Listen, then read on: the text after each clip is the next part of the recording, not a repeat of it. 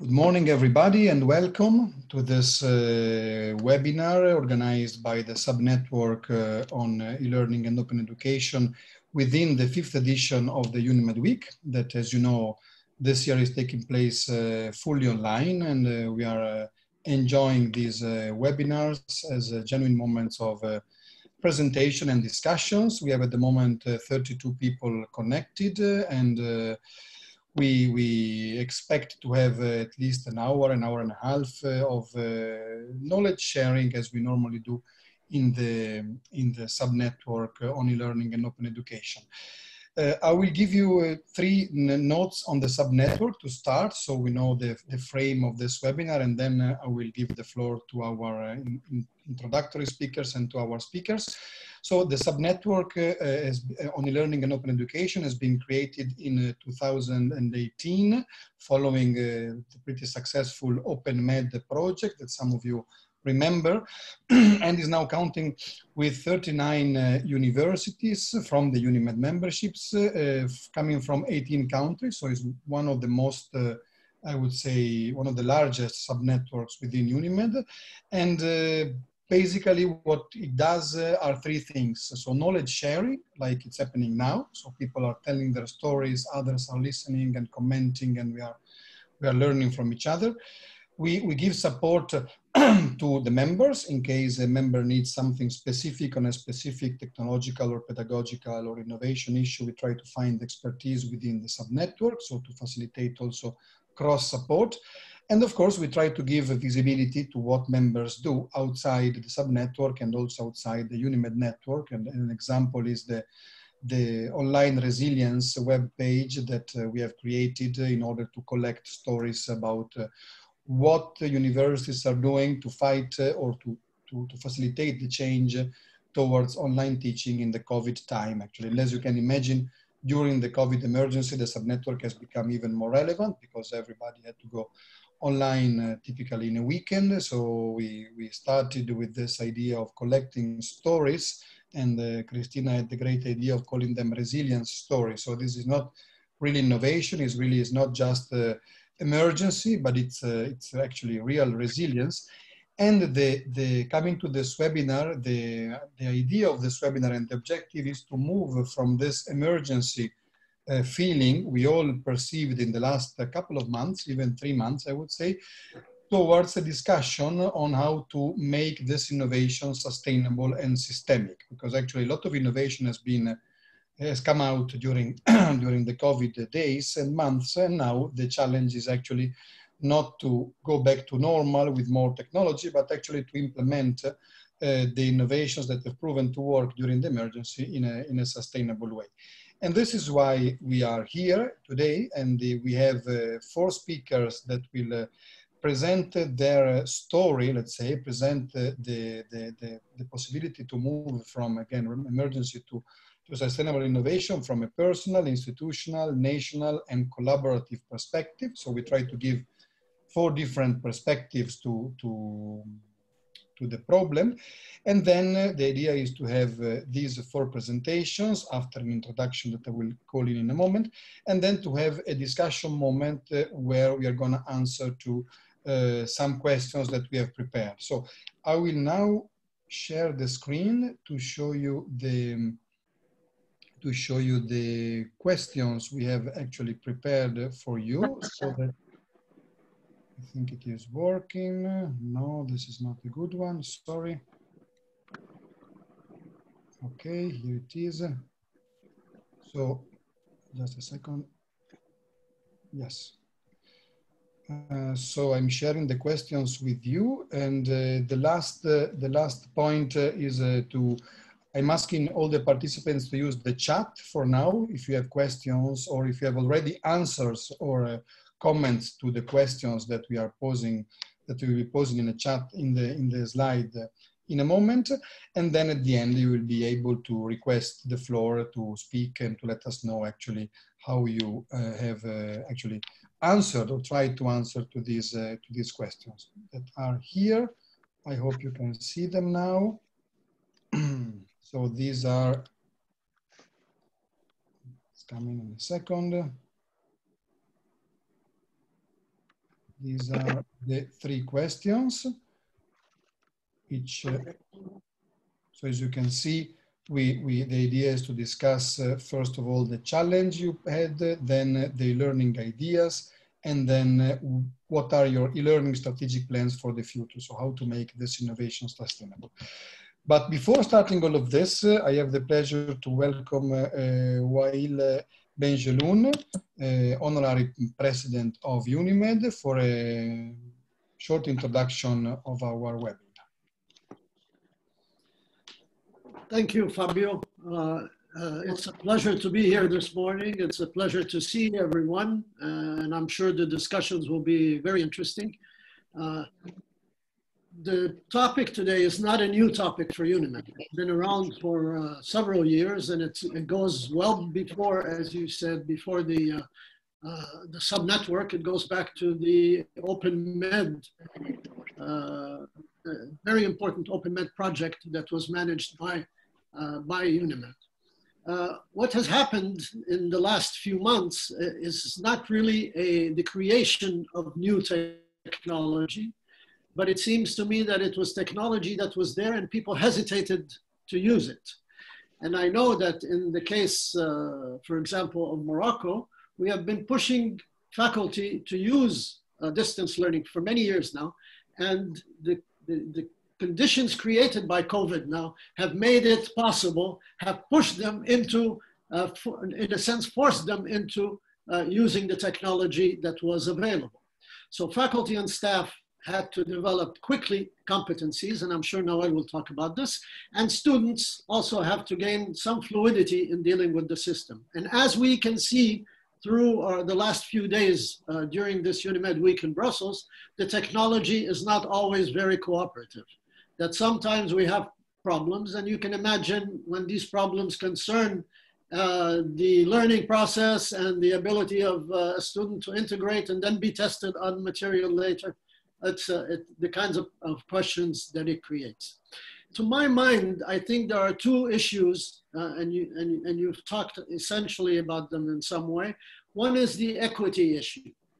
The equity issue is that uh, we are somehow making the presumption that all students have access to this technology. And that's not true. And it's not true in the developing world. It's not true in the developed world, in the sense that uh, many, many uh, students, and in, in the US, it turns out that 3 million university students do not have access to uh, the technology to be able to, uh, to, to do, uh, uh, to be able to do distance learning. At the same time, we have closed our campuses. So whatever technology was available to students on campus is now no longer available. And it has to be technology that has to be at home. And if you're in the rural areas, you can imagine the kinds of problems that we are creating. So the students being off campus is in and of itself a problem for uh, the use of the technology.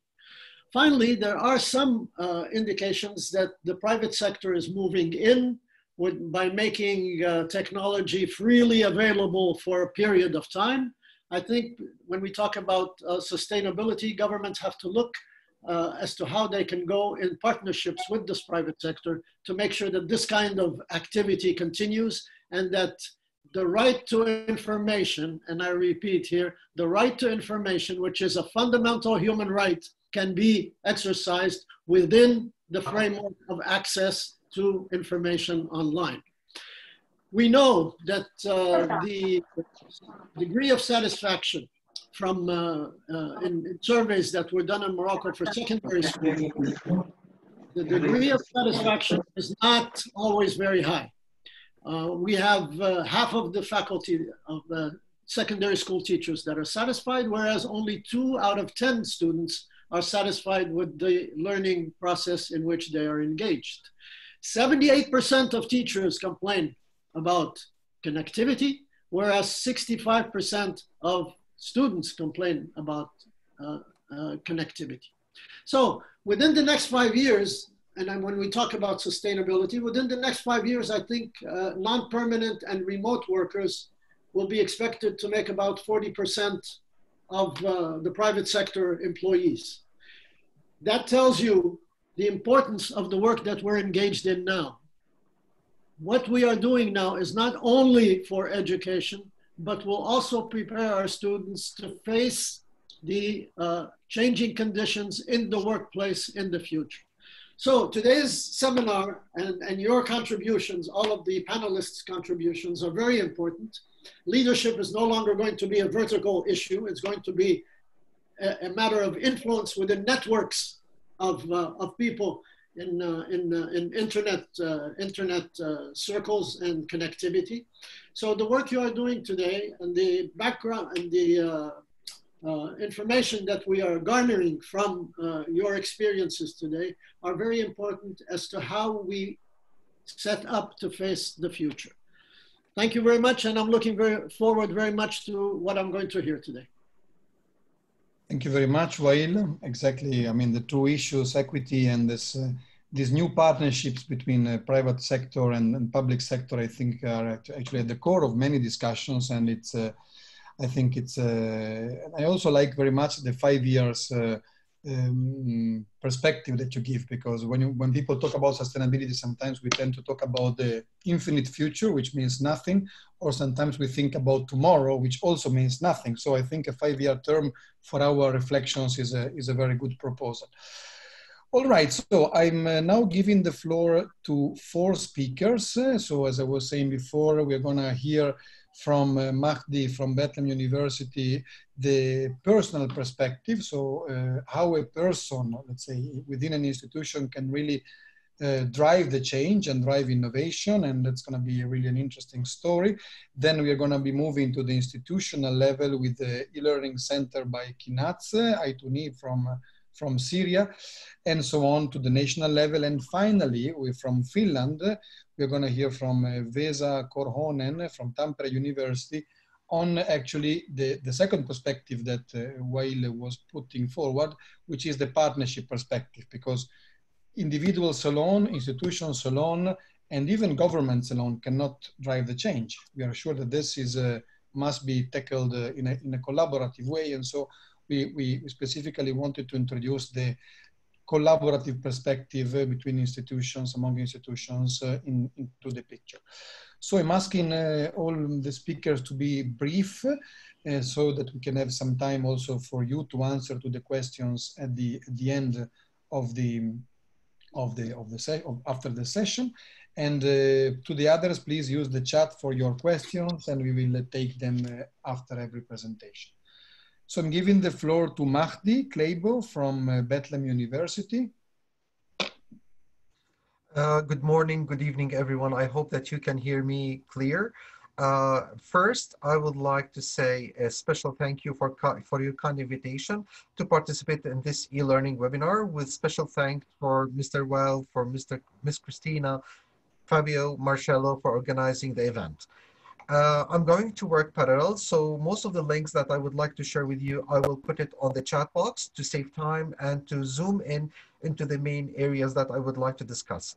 Uh, but as a start, I would like to compliment Mr. Wael, what he has mentioned about the labor force and uh, there's uh, the restrictions of the mobility and the adaptation and to where are we moving forward uh, versus the labor force. It's a major issue everybody is talking and discussing. A brief introduction about myself. My name is Mahdi Kleibo and I represent the External Academic Relations Erasmus ICM Virtual Exchange Program Coordinator and Facilitator at Bethlehem University. Uh, my main aim is to facilitate modernization, accessibility to internationalization and institutionalization through shifting current higher education teaching method from a teach central approach to a virtual learner approach. Due to the COVID-19 pandemic, Bethlehem University quickly moved education online, rushing into increasingly quickly due to the change uh, brought by the emergency in terms of online teaching and virtual approaches in international mobility and cooperation. As a part of the process, I would like to share my experience with a, with a larger community with the aim of advance shaping the transition from emergency to sustainable teaching and learning innovation in the Mediterranean, of course, region. As a result of attending the open online course, Euro-Mediterranean International Trends, um, I successfully managed to move from the emergency online teaching to sustainable innovation e-learning at my home university. I highly recommend attending this course as you can be an active observer, influential, and partner of the international higher education future movement towards applying digitalized virtual exchange teaching, uh, training, coaching, and coaching. I posted my first article on the online resistance during the COVID-19 under the title Mobility COVID-19 uh, restrictions, followed by a second article under the title Palestinian Employability Future Between Preventive and Corrective Challenges. I do admit, admit that the style I endorsed was very technical to reach out to the biggest audience as I focused on tools that I relied for best efficient and effective practices.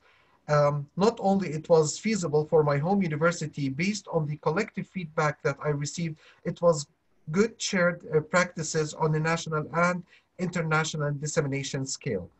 Uh, in August uh, edition uh, 2020, I will publish another article for the hospitality employability future between preventive and corrective challenges with special focus on three main areas, international networks, um, negativity impacted by workforce balance, and I will talk more about digitalization. To summarize, what we truly need now is to apply 21st century good practices. I believe the uh, post-crisis world will be more in-depth, less global, and more digital, and to improve the quality of higher education and professional management, and to strengthen the importance of education for the future labor market challenges. There is a true need to strengthen of the international between higher education companies, local, national, and uh, regional authorities in, is required. Higher education need to take into consideration modernization, virtual accessibility, and best practices of internationalization as a tool to improve employability in the region with a collective collaboration to set a plan to improve and strengthen the role and potential of the development of employability by adapting to transversal inter, um, interpersonal dialogue between local and international universities, companies, and decision makers. This means uh, we further need to discuss together on how to move from emergency to sustainable innovation in online learning and to continue advocating an open and permanent dialogue on employability and support the realization of the new wave of practical business recruitment experiences in the context of education, training, and youth workforce. This is an invitation to embrace, uh, embrace the opportunity uh, in front of us today. We can truly redefine who we are as proactive and creative virtual community we have an important role to play to create a new, uh, even stronger culture of learning. Uh, we don't have all the answers for now, but we do all, uh, but we are all on this journey together. And I look forward to learning more about stories presented by my colleagues from Syria, Morocco, and Finland, and other respectful partners. But once again, I would like to enforce that the labor force is our aim and whatever we are moving towards at higher education using the technology, it should be focused on what are the expectations of the labor force because we are qualifying our students to work uh, forward, qualifying them to find job opportunities. So uh, maybe it's uh, it's really worth to go into the into depth into that dialogue and to see how can we all cooperate and collaborate. Thank you. Thank you very much, Mahdi. This Thank was uh, this was actually a very nice uh, and and actually short uh, set of points. Uh, I, I, personally fully agree on this uh, on this need to continue the dialogue and to do this in an open way. And we have some ideas with Christine and Marcello that we will share at the end, but we keep it as a surprise. But thank you for anticipating that. That's uh, very good and uh, it's it's interesting how you you how you are how you are underlying the, the need to connect uh, with the new needs of the labor market because uh, as Wael was saying labor market is going to change society is going to change and the change will stay and actually there is a risk to be a bit self-referential in looking only at how education must change, not at how education must change for other changes like the one of the labor market. So I think it's a it's a very good point and uh, it's, it's taken also for the for the broader discussion. There was a question for you about uh, the open online course uh, that you mentioned at the very beginning, the course on intercultural trends, uh, Euro-Mediterranean intercultural trends. We will put the link uh, in a moment in the chat. That was a course, is a course uh, uh, by the Anna Lindh Foundation in collaboration with UNIMED, which we had the pleasure to, to support. that is the, exactly, that is the link. Thank you. And so I, agree with you. It's a good suggestion uh, to, to explore that course also because of its leadership and, and change dynamics. I have another question for you uh, from Mohammed. Uh, how can you convince students uh, to get involved in, involved in e-learning? So that's about the student resistance. What's your, what's your secret there? Can I answer? May I answer? Please, please. That's, that's the idea. Yeah. yeah. Okay, well, first of all, I would like to say something that the home university has to be convinced to support the people at front to answer this question. Uh, the student is a person who receives the service he is expecting or she's expecting that there's a system that supports to move this student from one place to a better place. When there is cracks in the system by the higher education and they don't have the full picture and they don't have the capacity and they don't have the tools, the students can sense that there's something wrong. So I would say, and I would highly recommend that reinforce yourself from inside and as a result, the students has the full power to acknowledge and to know exactly to where he's heading. Um, so it has to do with the system, organizing yourself internally, prepare yourself, make everything very transparent and show that you know what you are doing. The students once realizes that he is part of a big map, well organized, and his role is very clear and defined he will be a partner of your journey. Otherwise, the resistance is very normal. But once again, we are having this problem of resistance nowadays in my home country and most probably in other countries. Uh, the resistance is natural, and the only answer to cure this answer is uh, be prepared, uh, show a lot of material, do a lot of virtual uh, training seminars, webinars, discussions, open discussions, in my particular situation, I would say in in Palestine, the students, they do not have the authority to pick their own topics they would like to discuss, uh, they would like to learn at higher education. It's the parents. I would save time into addressing the parents because they are the people who make the decision on behalf of their children once they move from high school to higher education. So the message would be enforced and directed towards the parents because they are the decision makers.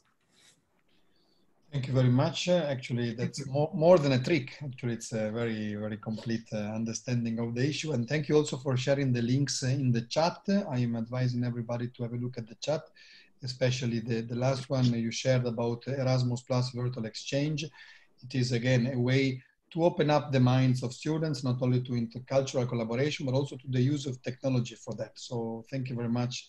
Thank you. Very, very useful um, points. Okay, so we are now moving from the individual, actually it's more than individual, but from a professor's uh, uh, perspective to the institutional perspective. And I'm now calling in uh, Kinaz uh, Atouni from Syria. Uh, you are working and leading the e-learning center so of your university. We know that the learning centers have been, uh, um, let's say, charged with a lot of responsibility in this period. And so please go on and let us let us know your story. Hello, everybody. Thank you very much for your invitation. Uh, first of all, I'd like to introduce myself. I'm the head of Quality and Accreditation Department. As you know, all Syrian universities, uh, accredited pedagogy has been entirely conventional learning. Uh, and we didn't have any basis for online learning, uh, learning management systems, and digital platform. Moreover, as you know, uh, Syrian is suffering from sanction right now. So uh, technology uh, like uh, Google uh, Class, like Zoom, we cannot use it. Uh, now I'm using the private network, private key network to, to participate with this webinar and maybe at any time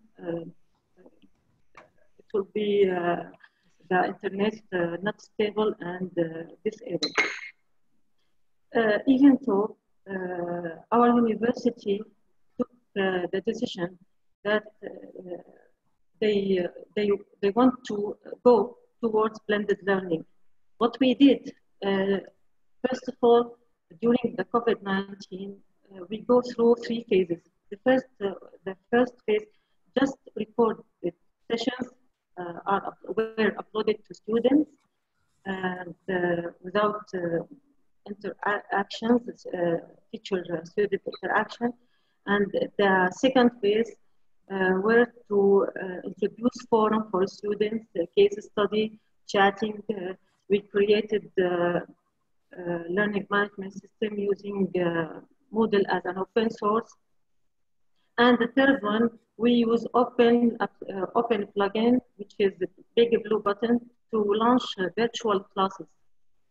Uh, of course, to sustain what we uh, have done, uh, uh, we launched a center of teaching learning, and we use some open source digital tools because we cannot use the normal one. And uh, now we are uh, training our teachers uh, uh, through virtual training and face-to-face -face learning, face-to-face -face training to how design the courses to be online. Of course, our experience is very soft and and humble.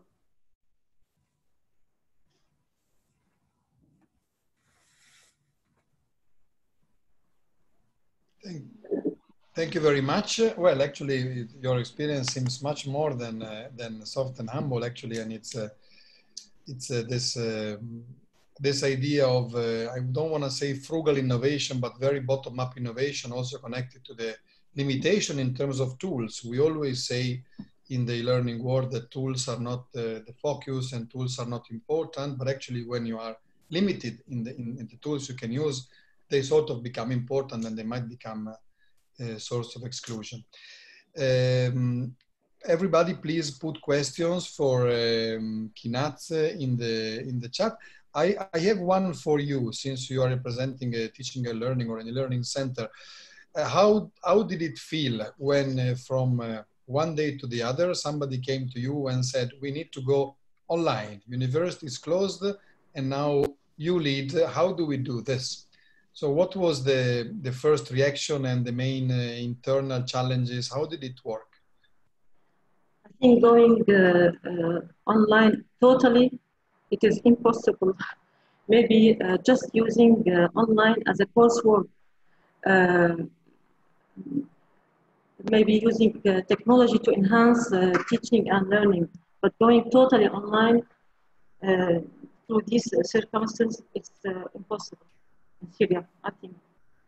Uh, particularly the five years, the next five years. This is my own impression. Yeah. My own expectations. Thank you. Thank you very much. We have another question for you by Ahmad. Uh, what do you think of the experience of the virtual university in Syria? I think this is uh, the question. Sorry? Uh, please, the question? Is uh, what do you think of the experience of the virtual university in Syria? Uh, as a Syrian university or as an Arab international university? Uh, um, because if as a Syrian university, um, we don't really have uh, a good experience. Uh, students lack of access to internet, the speed of internet, cutting electricity, But uh, as an Arab international university, I think it's uh, better because we made our own uh, tools. We rely on open source, open resources, and uh, uh, we try to offer uh, some facilities to our students. Okay. Because we are a private university, maybe for this reason. All right, perfect.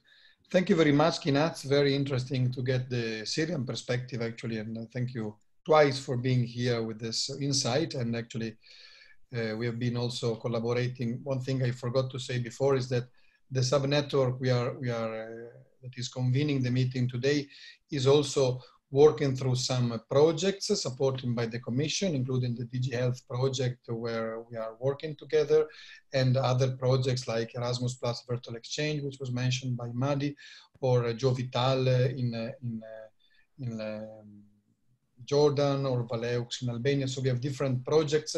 And actually, every time you see an opportunity to promote a project you know or you are aware of through the subnetwork, please do it because every time this happens, it's a plus. So we have noticed that uh, whether in, uh, in, meetings or in, in uh, just promoting the results of a project, uh, the subnetwork is really working well because we are reaching people who have a vested interest actually in e-learning and open education. So thank you. And actually the, the training we did, for example, in DG Health was blended, as you say, was not fully yes. that confirms what you were saying. Thank you very much. We, we are now moving to the national dimension. Uh, we had already an anticipation uh, on the importance of what we're talking about for Morocco by Wael, but now I would like to call in uh, Nawal from uh, University Mohammed VI Rabat to get a, a, perspective on the, from the national level, happening uh, as much as possible in the national Okay, hello everyone. Happy to see you, Professor Wael, and to meet you online. Thank you very much, Christina and Fabio, for organizing this uh, webinar and inviting me uh, to participate. Uh, in the current health circumstances of COVID-19 pandemic, the Moroccan Ministry of National Education announced the suspension of courses in classrooms at all schools and universities since the 16th of March of this year. This procedure is one to control and stop the spread of the contamination. Adapting to this new reality, all existing courses are made online for all students from primary to higher education.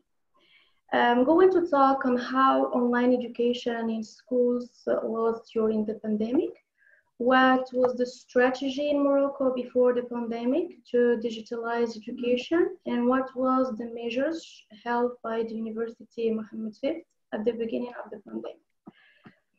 So for students from primary to high school, a national platform named TelmidTICE was updated regularly. Students have access without using password and without having an internet account. Lessons are grouped by subject, level, and branch of study. In addition, uh, dedicated national channels like Rabia, Laayoune, and others broadcast students' programs according to a schedule announced for each level and every subject. Every week, uh, the program and replays on TV are launched. In addition to that, many other helpless families in rural areas have received devices to be able to take online courses thanks to the foundations like UNICEF, UNESCO, ISESCO, and others. They provide up to uh, 100,000 devices. This number, um, unfortunately, do not cover all the needs. Uh, now I'll uh, go to, I'll talk about high, higher uh, education in Morocco. Um, we did not switch uh, to distance education based on no experience. There has been distance learning used before. In the accreditation of a program, it's mentioned that it is requested to teach in e-learning mode besides the teaching in attendance. Tutors are rewards in their evaluation progress grade when an e-learning content is developed. So referring to the 2015-2030 strategic vision of the High Council for Education, Training and Scientific Research, the ministry launched a project entitled uh, which is the acronym for Generalization of the Use of New Information Technologies and Communication in the Field of Higher Education. The objectives of the strategies involve teachers in integrating ICT, information and communication technology in teaching, improving the quality of teaching and programming trainings, Based on these objectives, there are two expected results. Uh, first, to develop a mutual platform for uh, distance education within universities and to create a national virtual university. The former means the national platform uh, you can access to it uh, from MEN.ma uh, is functional as in 2017 there was a call for projects which counted 49 approved MOOCs projects. In the current pandemic situation, the MOOCs on the national platform have served the teachers to reopen their course to students it was only necessary to do tutoring and to moderate online. Normally, all Moroccan universities have their own e-learning center to support and assist teachers. Let's take the example of uh, Mohammed V University and state some statistics. The e-learning center of the university was created in 2002. It is equipped with a recording studio and all dedicated technical software and hardware uh, necessary for editing and assembling an e-content. Referring to the Digital Learning Center website, uh, Google Classroom counts 13,000 subscribers, uh, 8,060 students, 135 classes, and 58 teachers. Whereas Moodle and OpenEdX MOOC count um, 1,222 subscribed, 66 courses, and 31 teachers that, that, that uh, are active. Once the ministry announced the closure of universities and schools, um, of the two sectors, private and public, the university uh, took urgent and fast measures as some courses of human science that were broadcast on the TV. Automatically, all students and teachers who haven't a Microsoft Teams account receive the details to access to theirs. Teachers who wish to have an account on Moodle or Classroom could request uh, one by email. From the first week of the pandemic, platforms users' guide in document and video format were sent, shared by email, and were at everyone's disposal via the, the university website. Uh, this is, was the first week. After that second week, uh, the university was able to host 12,000 simple educational resources on the university's platform, according to the interview with the, the president of the university. Uh, the interview was held in uh, 29 uh, of May of this year. Uh, database for common questions and answers has been created to advise and guide students. Another measure is that recently a form was sent to teachers and students to assess distance learning the results obtained are 70% satisfaction was expressed by the 9,000 responses from students and 75% of satisfaction uh, by teachers. Also, uh, to strengthen the online learning, the ministry has signed a partnership with the British Council to offer free online resources to students. All the stakeholders are engaged since it's the only way uh, to ensure the continuity of the learning programs and everyone's safety at the same time. So all are aware of the importance of this mode of teaching and agree on the fact that blended learning is the best way to improve the quality of education and to benefit from the various advantages each mode offers. So um, I'm brief. I didn't want to be uh, to take uh, more uh, time. I didn't uh, state every everything the ministry did, but I chose the most important just to share with you. Uh, so welcome for any questions. Uh, actually, I think you shared a lot, and it's impressive to see how many how many things uh, the the government did actually there. It's uh, a lot, a lot, really. We we are all aware of uh, their active uh, uh, yeah. procedures Great. So I'm asking everybody to put questions in the chat. And in, in the meantime, I have one uh, regarding your presentation. I don't know if maybe also Wael, uh, you want to, to intervene on that.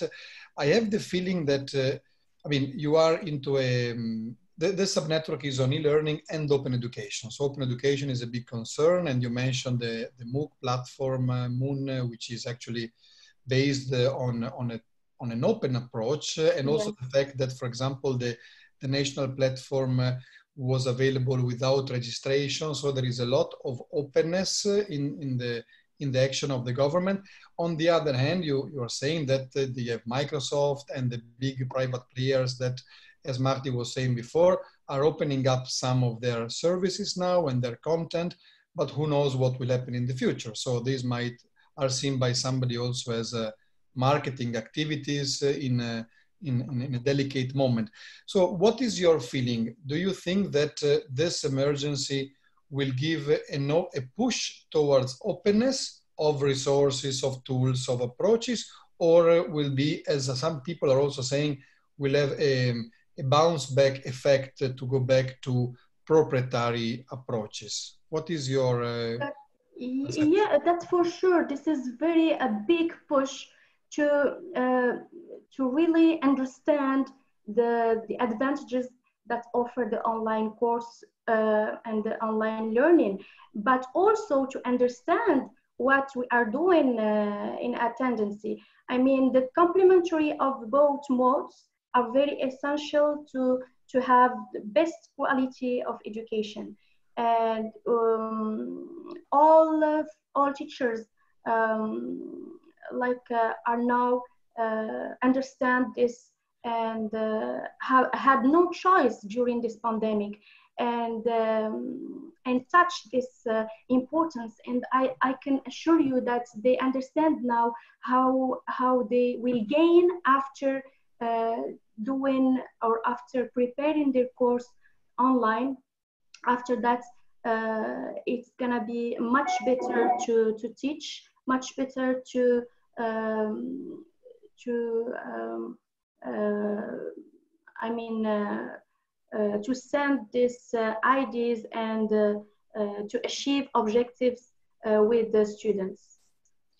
That's, great. I don't know if uh, Wael, you want to comment uh, as a luxury Moroccan observer of the um, of the situation on this dichotomy between open and closed, because of course both things are present, but uh, a push will come in one direction. And uh, I, I, like very much the, the, the, optimistic view by Nawal. And I mean, and I share it to a certain extent. What's your view, Wael? I think what's um, uh, what's very clear now is that the market has increased.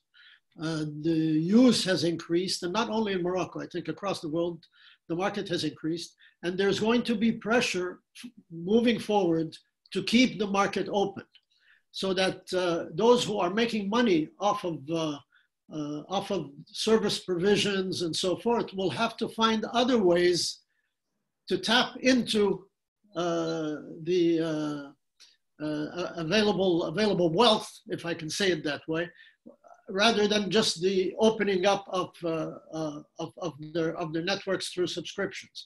So my, and it's only a feeling, I'm not, uh, of course, I'm not, uh, I'm not saying uh, anything for, that, for certain, but my feeling is that the market will stay open so that access to information will stay open.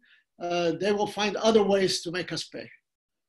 Okay, good, good it's still optimistic, but with a drop of realism more. I think it's uh, we are actually it's uh, I mean it's possibly the, the, direction to go. We have uh, actually a question coming from a couple of persons on assessment, which is uh, an issue all around the globe, and the question is. How are you dealing with assessment? Uh, is this are you yeah. using online assessment or? Yeah, actually, recently we um, we have uh, it's it's um, there there is two uh, two approaches. Uh, there are um, open access universities where the decision made is to to evaluate until September. Uh, but for other other universities or schools uh, that have a limited number, I'm talking about higher education, okay? So um, for schools that have a limited number, um, they decided to, to make assessments online. So we have to prepare for this month, for uh, June and July, uh, assessments online. And each professor is um, uh, choosing the way he wants to do it, uh, whether using a platform like Moodle for um, programming uh, time st uh, stamp time or a number of attempts, or doing it uh, online, I mean, face to face, preparing a bank of questions and asking the student directly, seeing him uh, on video and asking questions and directly giving the, the grade of each one. Uh, so it depends on, on each university and school. Okay, thank you very much. And maybe this question can also be discussed, I guess, among the challenges uh, in the this is the, during the pandemic, but after that, there are many other ways to, to make uh, the assessments. There are formative uh, assessments, there are summative assessments. So um, ideally, um, which is the better way to, to assess is to prepare uh, on a platform so we can have this um, uh, an evaluation after that on the, the, progress of students. Perfect, absolutely. Thank you very much. We have a comment. Uh, we have to attend the France experience of assessment. So this, uh, so to look at, uh, at the experience of France, right? If I understand well, Professor Benaziza. I think, uh, yeah, I think the comment is to we have to we have to attend France or to look at France experience of assessment uh, as, a, as a suggestion. Thank you very much. All right, we are quite good with the timing. As you see, I'm taking the questions after the presentation uh, to allow some interactivity, but please, if you have some more general question, be ready also to speak out in a moment. I'm now giving the floor to our last speaker coming from Europe. We are, of course, a Euro-South Euro Mediterranean network, sub-network. So we have uh, one of our new members. Actually, I forgot at the beginning to welcome the new members. Uh, we have some new members in the in the in the sub-network on e-learning and open education. One of these, uh, some of them are are uh, actually participating. I think I've seen, for example, the University of Salento earlier, and another one is the Tampere University from Finland, and uh, and let's try to tackle with this intervention the dimension of partnership. So from the individual to the national to the um, partnership dimension. So how to face the change and how the changes happened from a partnership perspective. So I'm giving the floor to Vesa Korhonen from Tampere University. I hope I pronounced it well. Okay, thank you. Uh, is it okay if I share my screen? I have few slides to show. Absolutely. So uh, it might be a little bit easier to follow. So let me stop my sharing. Okay. Let's see.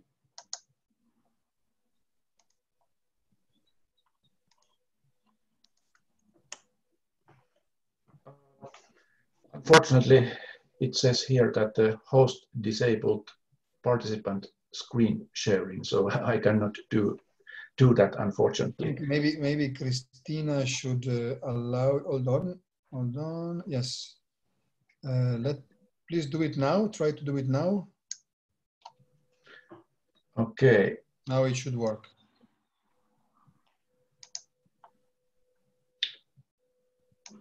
We are all getting obsessed so, with roles, uh, you know, with. Uh, whether you are a panelist or a presenter. Yeah. Well, it is uh, loading. Uh, thank you for inviting me uh, to present some experiences of this e-training FinPal project. And uh, uh, I'm coming from, from Finland and Tampere University, uh, who is a member now in this UNIMED network. And and uh, I have been working as a research director uh, three years now in this uh, e-training FinPal project. Uh, and I created this kind of title for this presentation. Uh, it is uh, mainly a partnership uh, program between um, one Finnish and one Palestinian higher education institution. And here you see also the names of our project group.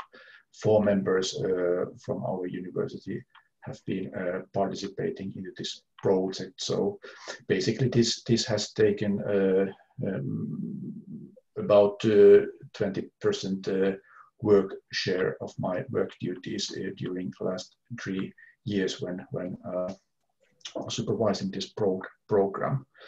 And this program uh, has been mainly about uh, uh, developing an online training program for um, for for uh, academic staff at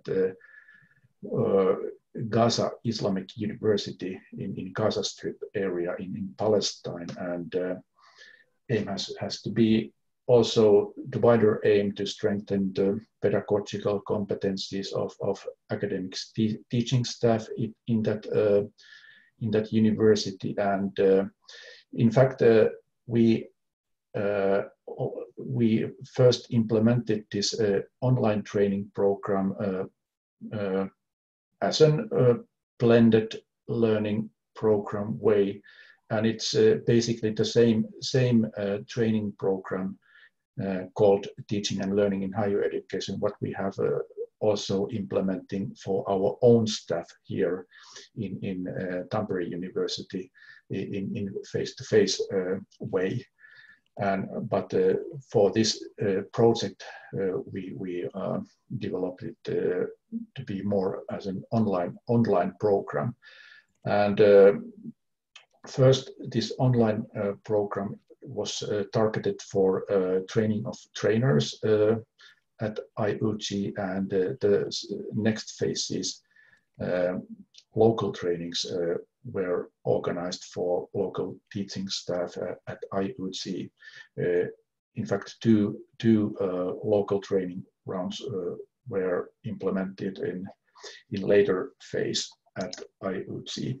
And uh, core of this online training program, uh, what we first implemented, it is a blended learning uh, kind of delivery it consists of uh, uh, five uh, intensive seminar days, ma mainly online, three, three 10 webinars and also uh, individual group assignments. And, uh, and uh, here you see also the themes, what this program consisted of.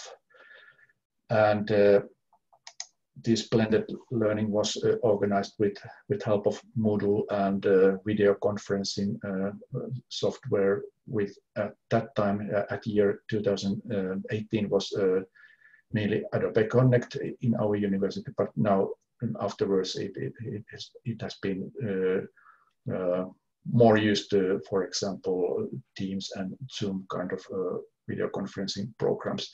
Skype was also utilized quite much uh, in, this, in the, this program because it was uh, maybe the most familiar um, uh, video conferencing uh, software with local uh, users at IUG. And also WhatsApp uh, was used to support local local participants to, to get in, in touch with participants and uh, get uh, some some uh, in, important instant information for them. So it's a combination of different kind of synchronous and asynchronous kind of uh, collaboration uh, modes uh, in, in online.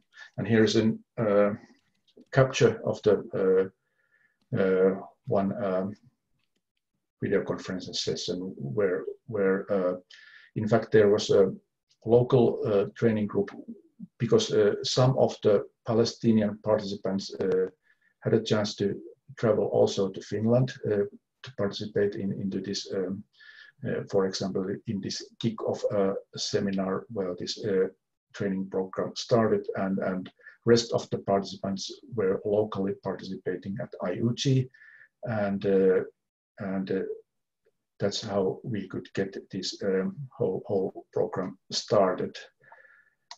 Uh, but here is the main um, social network and collaboration scheme for this kind of uh, partnership. Although it's a, a institutional cooperation, uh, the main main activities are of course uh, implemented by by people participating into this program. So we uh, four members at uh, Tampere University uh, coordinated and, and supported the program. Uh, there were four core team members participating at IUG and uh, they were uh, organizing the local activities academic excellence unit was established during the program uh, at IUG for supporting uh, the academic staff training development and also some uh, technological resources were uh, possible to uh, to uh, establish during the pro program like computer classroom with 25 laptops and studio class classroom locally for recording video materials and so on. So, so the project have uh, had that kind of outcomes as well. And uh, the trained trainers uh, during the first uh, online training round, there were 16 participants originally, and nine of them uh, continued to be as uh, trainers for others locally. And and uh, in the second phase uh, trainings locally, uh, there were 127 participants at IUG and elsewhere in, in the Gaza Strip area, higher education institutions who, who participating to the local training rounds. Local training rounds were, were mainly face-to-face um, uh, -face, uh, trainings and uh, those were organized in a much more shorter time period, uh, main, mainly within uh, four or six weeks, while our first online training program uh, lasted five months because it was uh, aside uh, other working duty, duties where these uh, trained trainers participated participated in our training program. But this is a main scheme how this collaboration went on and uh, uh, and what kind of activities there were. Also for supporting uh, local training development at IUG that we organized online workshops uh, for supporting the training planning and also uh, we organized assessment workshops uh, in Finland where where those Palestinian team members could participate here last autumn when, when uh, we were also uh, evaluating the uh, activities at that point. And in the last slides, slide there are some some experiences of this especially these experiences are um, covering these kind of uh, issues with uh, with the online training program what we, we organized. Of, of course, it, it was um, offering a possibility uh, to local participants to participate into the training program um, uh, aside their other work duties and uh, they didn't have to travel for the training and it was quite a, a cheap uh, kind of um, way of, of organizing uh, the training. But of course, there, there were different challenges when, when uh, thinking about uh, how this uh, kind of training could be localized uh, into local training use. Of course, uh, there was a, some, some important side effect. Even though the program did not focus primarily on developing online teaching, the nature of this kind of cooperation and the experiences in, in the local uh, uh, of, of the online training program, and what we implemented, these led towards the uh, digital solutions uh, and understanding of digital solutions in teaching, which provided the be highly relevant uh, shift to online courses during the pandemic, especially in, in, in Palestine area and, and at IUG, because uh, uh, some of the participants also reported when we did uh, some, some data collection during this pandemic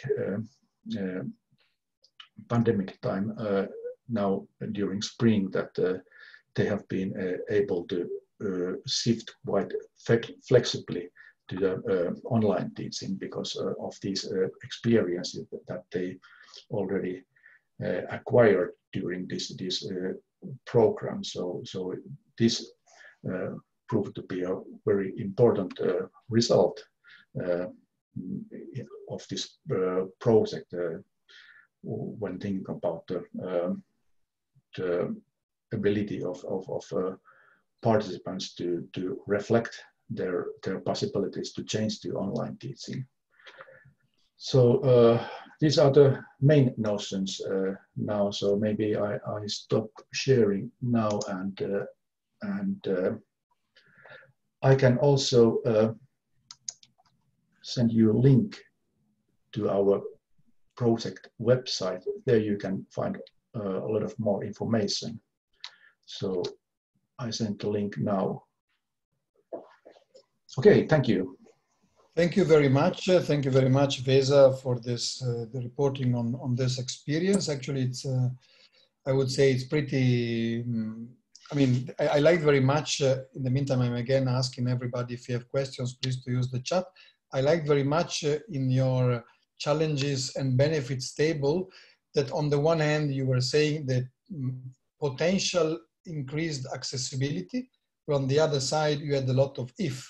So actually the real equity then the equity issue that uh, Wael was bringing into the game of course potentially everything could get more open and more accessible with technology. But then when you look at uh, the cultural differences and the, the differences in terms of even devices and the limitation and so on it's uh, it's not always so there is we're always into this dynamic uh, between what could be achieved and what is being achieved in a number of cases and what is actually um, what what is missing to to get there and actually this uh, i don't know if somebody else from the speakers wants to comment on this nice experience uh, of finnish palestinian cooperation while i'm putting on the slides. Let me see if I can make it. Here it is. So I'm putting on the slide with uh, the, the three questions that we would like to address. Uh, and actually, I'm, I'm now calling also for uh, others than our speakers, other participants, uh, if you want to help us actually, uh, help us answering these questions. So this, this webinar, the idea of getting these uh, narratives uh, from, uh, from our speakers was to complement what, what we got through the resilience website that I'm showing you here. This online resilience collection of online learning stories, and you can see the website down there. So the idea of today's webinar is to complement the knowledge that we have already up uploaded there, as Mahdi was saying before, and uh, then to, to see how we can bring this forward uh, and to keep the discussion alive, not only by collecting knowledge, but also by, by trying to analyze and transform it a bit. And we have come out with these three questions that uh, have already been tackled by most of you during your presentations. So um, the, the first one has to do with what was the major e-learning challenge that you had to overcome during the COVID emergency. And we heard about a number of them uh, in the presentations. What were the new ideas and practices connected to e-learning that were introduced during the emergency? So how has emergency contributed to innovative thinking? And what are your e-learning strategic plans for the future? So how are these new ideas getting transformed into, into strategic plans. Um, I'm first asking to the speakers if you want to pick up on some of these questions uh, from what you have already presented and also to the other participants if you want to raise your hand and uh, we can give you the floor. So first to the speakers, if you want to comment on some of these questions, so challenges, new practices and new ideas and the transformation of these into future uh, plans or future sustainable innovations. Okay, can I start? Uh, Please, Nawal. Okay, so um, regarding the first question on the major challenges, um, I personally have one. Uh, I experienced it during this pandemic. Um, when I had to prepare for a new course, um, there was no time. There was no time to restructure and segment the content and record myself to the learners, uh, so they can uh, visualize the uh, the record recordings uh, according to their rhythm. Uh, so to overcome that, I opt for an synchronous mode. and what the, what I introduced as the idea to to better have interaction is um, in the content I um, I, I, uh, I put some breaks for reflection after each specific objective where learners had to discuss. Then I noticed, uh, I noticed immediately uh, what was missed and what was clear. So the focus on the objective was the mandatory. Um, and another point uh, is that I introduced some other videos from YouTube that gives concrete example, examples of what I explained. I looked as a complement of the course, some interactive exercise uh, where uh, the objective at the end was to explain the process uh, of an algorithm because my uh, specialty is computer science and the course I had to prepare uh, from scratch was intelligence artificial and for example as an interactive exercise I had to look for um, how to really understand deep learning. And um, I looked for IBM experience and I, I gave it to, to the students. They liked very much. And from time to time, I, uh, I look for uh, short uh, YouTube videos, two minutes, not more, just to show them examples of robots, how they, how, how they they are used in China to overcome the, this, um, this situation. Uh, so for, um, I'm going to, to answer to all questions at the same time, if you don't mind. So for the last question regarding the strategic plan, I'm, um, I'm answering uh, really personal, uh, personally, I'm going to start by preparing the scripts and restructuring it uh, and making the necessary records uh, and preparing formative and uh, summative assessments to put it on the on the platform. Um, and since I work on the digitalization of education using the intelligence artificial techniques as the research field, I'm willing to keep on really because there are much more to do um, to develop uh, to develop and to add to the existing platforms. Yeah, thank you very um, much. Yeah. sorry. Okay. sorry, sorry. I just wanted to to stress your point about research that we haven't tackled on this, but actually the the research field of learning is also booming at the moment. So we have a lot of production, especially also connected to the AI field. So thank you very much for mentioning this as a, as a possible future line. But of course, yeah, there are many things to do. Uh, like for example, we have an issue online is to uh, how to to be sure that the, the student or the learner uh, in front of the screen is doing uh, is doing the assessments and how to uh, to identify um, this this learner. So there is the visual uh, visual intelligence or uh, um, the computer vision which is a subfield of uh, intelligence artificial. And once it is as a model um, within the platform is integrated, we can have this uh, identity easily. For example, we have much more. We have augmented reality. We have um, much more uh, area we can we can develop to overcome some problems in online uh, learning or to enhance or to improve this quality of online education. Perfect. Thank you very much. Uh, anybody else wants to comment on this uh, relation between challenge innovations and uh, system level? I've seen that Mahdi, you are commenting in the chat. You are a very fast writer. It's impressive the way you are putting down your thoughts. Congratulations for that. So it remains also visible for everybody. Mahdi, I don't know if you want to comment also something by voice. Feel free to do it. Eh? Can you hear me? Hello? Yes. Yeah.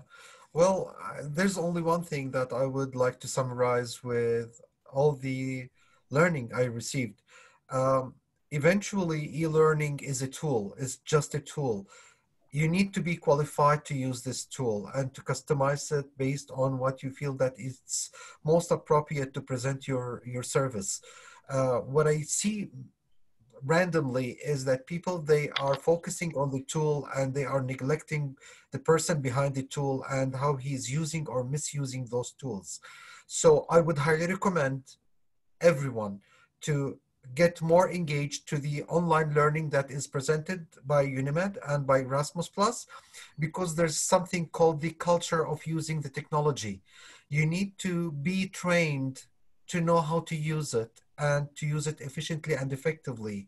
It will need, need time to, to know your skin and to know how to dress it and to pre present it. People who receive can easily sense if you are natural or you're just using tools and just forcing them into the mouth of someone. And eventually, uh, you don't want the bad negative impact of uh, misusing those tools. It's a language that a person needs to to get learn to learn it from really professional people. And now we do have this opportunity to learn it from the best people in that domain. So i hope everybody do take this opportunity really seriously. It's the culture. And one last thing that i would like to say once uh, just wrap everything we need to learn how to customize the service. We're transforming from physical uh, giving the service to virtual, which is a completely different culture, different language, different tools. But we need also to remember that we do have a competitive edge to compete, which is how to customize the service to attract more audience to willingly attend those services that we are providing. So customization, it should be on our checklist menu. Thank you. Thank you very much. Very important point, especially again connecting to the, the role of the private sector, because I mean, uh, it's, it's, it's clear that uh, governments and institutions can do any, anything they want, but it's only, it will always be difficult to win the battle against the, the giant, the private giants, if we are not able to, to change something in the people mindset and to prepare for this shift. Yes, very, very good.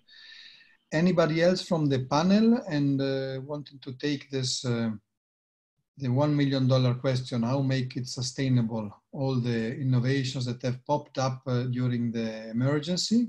Of course, when you are in emergency, you are more uh, brave than normally, no? Because in emergency, everything is allowed. But then when you need to, to put that in a budget for next five years, you think twice. I don't know if we have some uh, comments also from the other participants. Feel free to, I've seen some uh, some uh, some notes in the chat. I'm quickly reading them uh, uh, so to allow everybody to to see to to to hear them.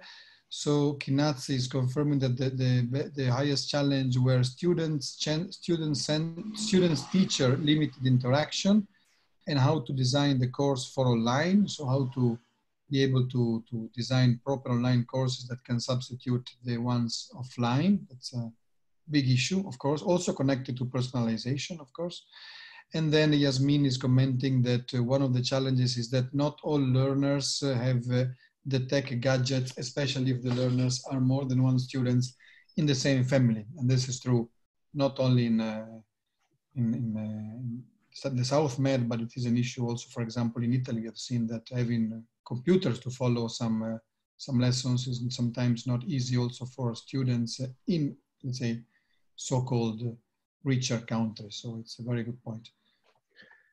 If I may add something, uh, maybe uh, one thing uh, how to uh, how to support uh, uh, teachers coping with e-learning challenges might be to support their collaboration because for example in in my own faculty there has been that kind of uh, that kind of uh, uh, weekly weekly meetings, uh, team meetings uh, online where teachers have shared their experiences and good practices for uh, developing uh, online teaching. And that was also one core idea in our uh, FinPAL project, online training program in the first round that we, we tried to emphasize the, the collaboration between teachers that uh, uh, you often think about uh, teaching um, activities as an independent, autonomous work, but you don't have to necessarily invent the wheel again by yourself.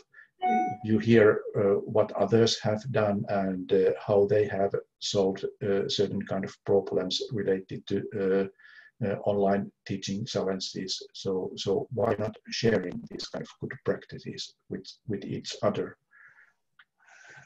Absolutely. Yeah. Thank you very much. Uh, it's uh, the, the, sharing issue is also the core of our work in the subnetwork, but it's not. Uh, it doesn't come easily. You're right. It's you need some work to, to get there. We have a request from uh, to talk from uh, Khalid Kamfar from Palestinian Technical University I think you can speak now, Khalid.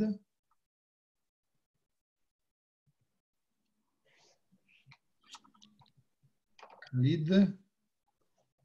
Yeah, can you hear me? Yes, we can. Yes, how are you doing? Very well. Uh, good, good. Hello, everybody. Well, uh, in addition to the uh, readiness of all parties, including uh, students, uh, teachers, and families uh, for the e-learning. Our main problem we faced is the virtual labs.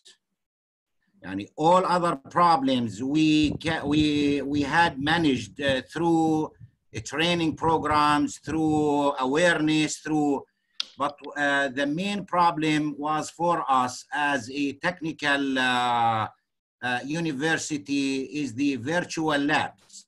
And the virtual labs are so expensive. Uh, we tried to buy some virtual labs and they were very, very expensive. So I would recommend uh, if there is a project uh, from UNIMED to, uh, to develop specifically virtual labs for the courses at the higher education. So this is our main problem. The others, we managed to deal with them. Thank you. Thank you very much. Yes, indeed, for technical university, that's an issue. And in the past, many, many European projects on the side of research have tried to develop uh, open virtual labs, also accessible for free. But as far as I know, the commercial ones, uh, and as you say, quite expensive, are the ones that are still uh, the ones working better. But it's a, it's a, it's taken as a note. I don't know if uh, somebody wants wants to comment on this. It's a, it's a difficult issue because these things are pretty. Nawal, you are. Yes, I want to add something. Uh, I know that there are uh, some projects that uh, Erasmus projects like uh, Express, if I don't, if I remember, uh, and the, the, the, objective is to create virtual uh, labs.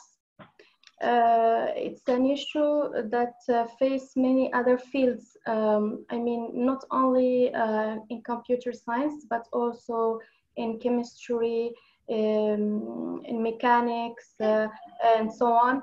So I think it's uh, better to, it's an idea. I don't know if it's uh, gonna work, but uh, it's um, to involve, to involve developers um, and uh, to, to give the, um, the opportunity um, like these projects nationally or interna internationally to work on, on these labs and to make it open for reuse.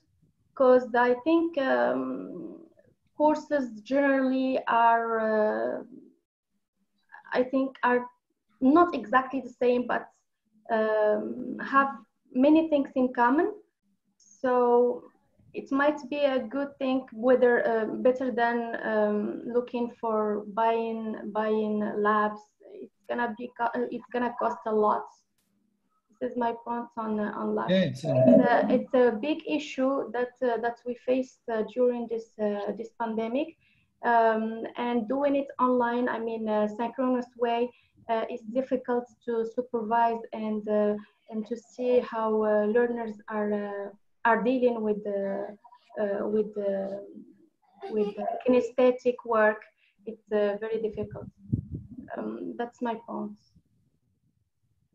Yeah, very interesting. Thank, thank you. And also Antonella from University of Salento in the chat, she's also saying that they are developing virtual and remote labs for engineering education, and they are promoting a fair approach to the use of their labs. Uh, I don't know, Kinaz uh, is asking Antonella if you want to, if you, you can tell a bit more about this lab, but in any case, I don't know, Antonella, if you if you want to or if you're able to speak to present this, but in any case, uh, I think we can take note of this uh, subject of this issue as one issue for uh, collaboration within the subnetwork. So typically in the subnetwork, that's how it works. You know, an issue comes out, like in this case, and then uh, now are doing it live. It's a, it's a luxury situation, but normally we can do it by mail uh, or by individual um, online discussions and uh, so it's, it's great to see this happening.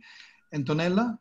Yes, I'm here. Hello, everyone. Uh, to everyone. Uh, um, hello, yes, Jasmine. I we already are um, uh, cooperating for some virtual exchanges uh, um, modules. I hope so for the next semester. And actually, related to virtual online labs, um, we are developing five engineering um, labs about uh, uh, mechanical and, and 3D printers. And we are using um, an approach based on um, the video recording of several scenarios, which are um, um, choreographed, composed through um, uh, the simulation of experiment, including the experimental error. Um, uh, so in this way, once we have produced the lab, it can be reused and shared, so better supporting the equity and inclusion of uh, students, both in Italy and abroad. And uh, what we are doing is uh, uh, treating this um, uh, piece of software, this application, as fair. So um, they will be um, available over the, the, the, several repositories and maybe in some cases they will be open. But um, sometimes having everything open maybe is not the best unique strategy, even if we are talking about open university and open science. If uh, you have any question, I'm available. We are just currently working on, on this. Oh, it's, it's, uh, it's great. Uh, not only, there's a question by Kinaz, uh, if students could participate uh, remotely? Yes, they can. Uh, we are um, we are simulating um, several combinations of experiment and uh, according to the change of parameters and uh, um, we add both an experimental error and um, we, we show uh, through the video recordings what should uh, really happen if uh, they have chosen the, the right parameters, the proper parameters. Perfect. Thank you very much. So I see this also from the messages in the chat as a potential area for uh, for collaboration actually within. Yes, definitely. It could be uh, in several different uh, um, uh, um, scenarios in engineering in engineering topics. Perfect. Yeah. Thank you very much. Antonella, and I see very, very, I see yourself already as very active as one of the newest members of the of the subnetwork. So welcome and great to see you so active. So I think we're getting close to the end. Uh, I would like now to put on this uh, slide again to remind you the online resilience um, platform website that uh, we created within the subnetwork. Actually, because we are, uh, we, we have been uh, discussing and wondering ourselves uh, what to do with all this uh, knowledge that we are gathering. Of course, it's there, it's available, and we are promoting it. Actually, the, the this website has also inspired uh, another similar website uh, by the, I think, the OER University or some other international development. So we are glad that we have served as inspiration as an idea to collect stories uh, from the from the pandemic, resi resilience stories.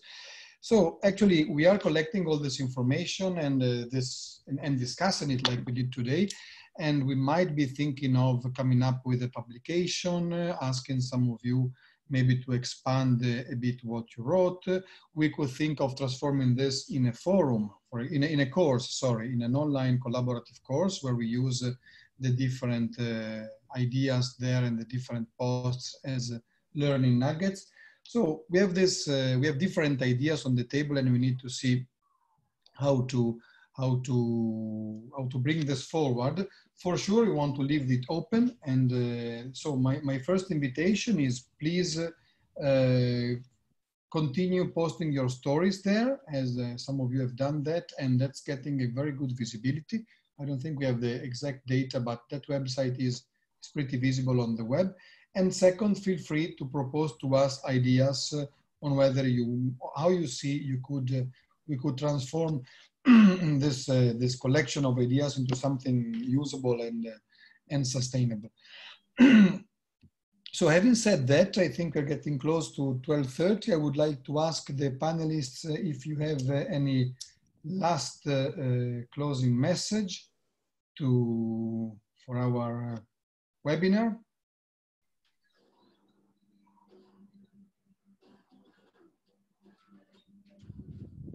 I see we have uh, Yasmin uh, proposing uh, to that we should move to offer online courses for the learning subnetwork about how, how to teach uh, how to teach from a distance. Actually, this is something that the subnetwork is working on. as you have seen before, the link put on by Christina learn.unimed.net wants to be a sort of a collection place where we can collect uh, courses dealing with this.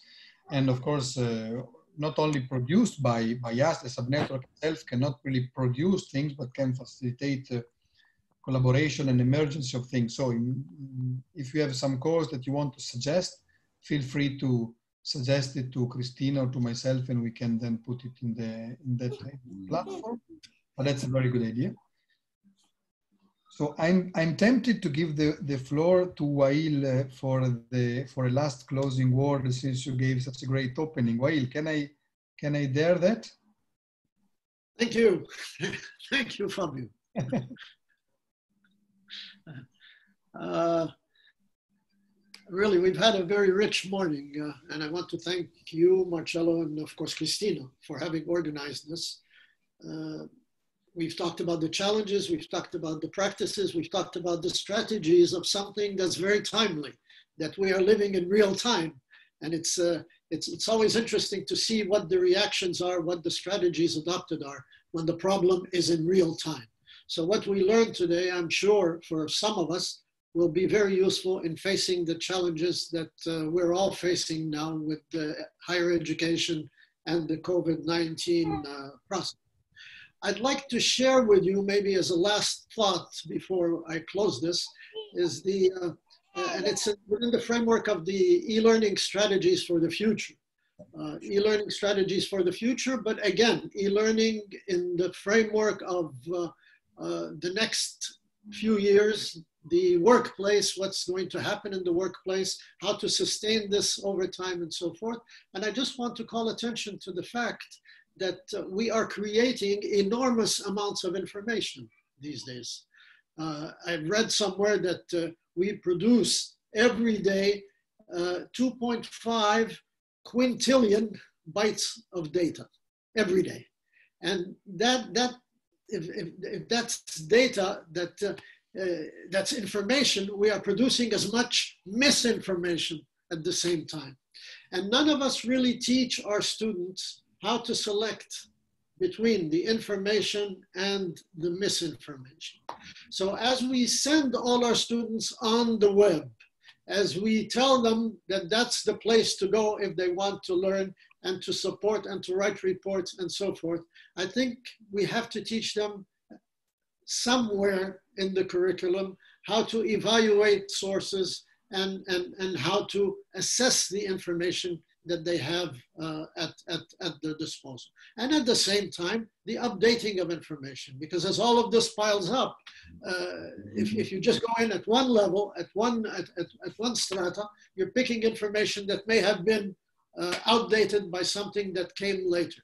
So there's a culture there that we have to pay attention to and that we have to inculcate in our in the minds of our students that yes we are moving into a, a, a great brave new world of information but in that brave new world they have to be very discerning and very careful about what they are using from uh, from the thousands of or the, the, the, millions and millions of information that the data that they have thank you very much that's uh, what i leave you with Thank you very much. Uh, very wise words, and at the same time, uh, I mean, words bringing us to a promising future. Actually, I, I, have to say, I personally like very much the, let's say, the, the optimist view and the positive view, especially in terms of partnerships. I, I, am I'm a very big fan of looking at the private sector as an ally of also public universities. So I think this is a, uh, the best way to go personally. So I would like to thank everybody for the participation. Let me check. We are still 30 participants, so the group has been uh,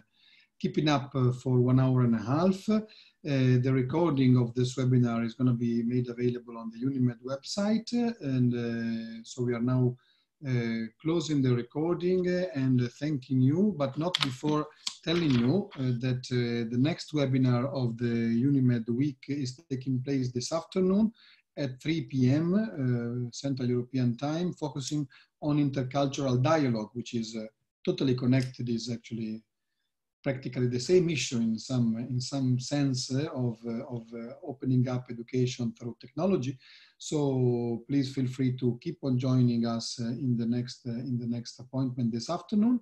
And for the members of the subnetwork, we will have a number of other opportunities. We spoke about proposing courses and resources, uh, promoting opportunities like the ones about Erasmus Plus Virtual Exchange, and, uh, and seeing how to bring this discussion forward. So you will hear from us pretty soon.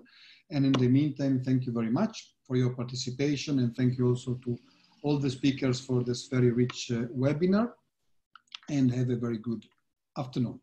Bye-bye.